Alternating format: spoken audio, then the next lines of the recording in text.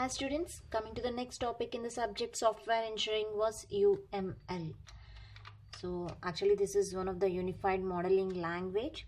So with the uh, with the help of this UML language, we are designing the software project. UML stands for Unified Modeling Language. Okay so actually this uml it is an industry it is an industry standard industry standard graphical language graphical language for specifying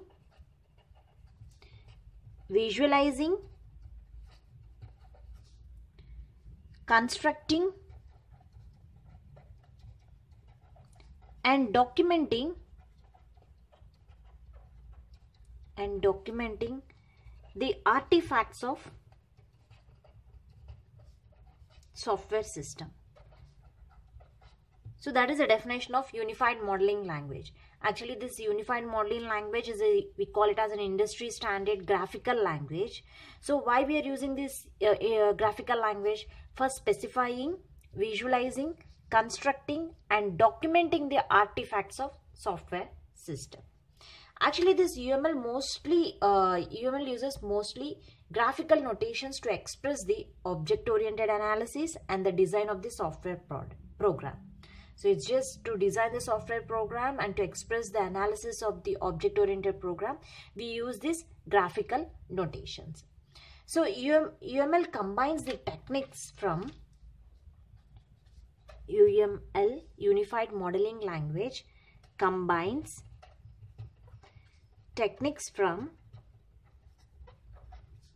techniques from data modeling,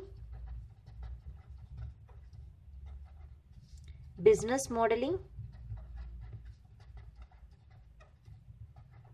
data modeling, business modeling, object modeling, object modeling and component modeling. Component modeling and can be used throughout the software development lifecycle. So this unified modeling language combines all these modeling techniques and it uh, throughout the software development lifecycle. Now let us see uh, what are the modelings, uh, what is a modeling and the different types of modeling.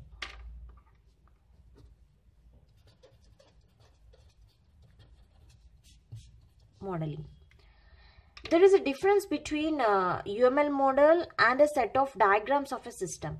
Actually, if you take any diagram, a diagram is a partial graphical representation of system model. Just it is a, a diagram, a diagram that is used to represent the system that is a pictorial representation. A diagram is a partial graphical representation. Just representation of system model. So uml diagram represents two different views of system models what are those two views of system models? Uml uml diagram represents two different views of system model. So what are those two views of system model? So one is the static model or we call it as a structural view. And another is the second one is dynamic dynamic or behavior view behavioral view. So the dynamic comes into the behavioral and the static comes into the structural so what is this? A static view and the dynamic view. So these two views or the uh, uml or whatever the uml diagram you have taken that represents two different views of system. Either it uh, prefer the static view or it is a dynamic view. Based on the user required and the based on the configurations of the system they can uh, prefer any of the view. And they, we are going to develop the uml diagram with the help of this static or dynamic. Now let us see. What is a static that is a structural view. The view emphasizes the static structure the static structure of system. So this static structure of system can be emphasized by using using objects attributes operations and relationships that you call it as a static view. And what is the example for this? The static or structural view example is a class diagram. Class diagram or you can take the composite structural diagram also. And now coming to the dynamic or behavioral view. What is the dynamic or behavioral view? Here the view emphasizes emphasizes the dynamic behavior.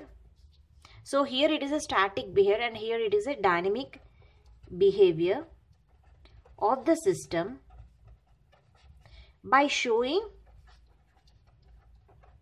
by showing collaboration among objects collaboration among objects. So in the static view this view emphasizes by using the objects but dynamic is showing the behavior of the system by showing uh, collaboration among objects and changes the uh, changes to the internal states of object. Internal states of object. So by seeing this, we will get that an idea that means dynamic is nothing but is going to change some operation. It is a dynamic behavior. The behavior is changing. The object's behavior is changing. The static is a constant. It is a structural view. By using this structural, uh, this view emphasizes static structure using the objects, attributes, operations and relationships. And what is the example for this dynamic view? The example for dynamic view is sequence diagram.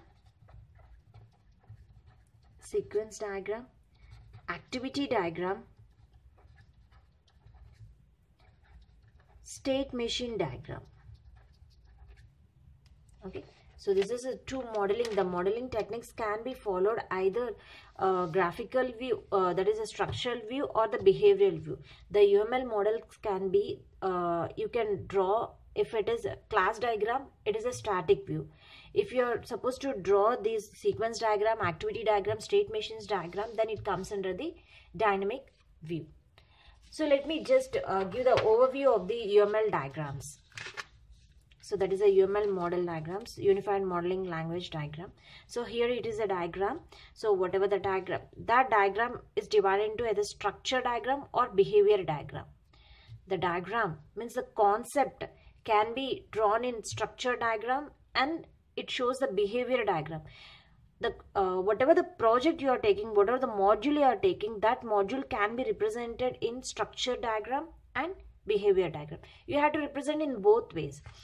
So structure comes the profile diagram class diagram composite structure diagram component diagram object diagram deployment diagram and the package diagram so these are all comes under the structure diagrams so seven diagrams will comes under the structure diagram.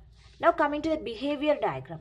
Behavior diagram is it showing behavior means the dynamically the uh, changes will be done means the flow will be going on. So that is the activity diagram, use case diagram, interaction diagram, state machine diagram.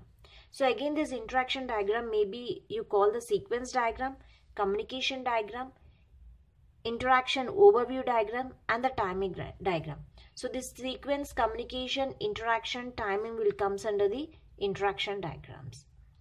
So this shows the behavior of the system and this shows the structure of the system. This is the UML diagram overview. Thank you.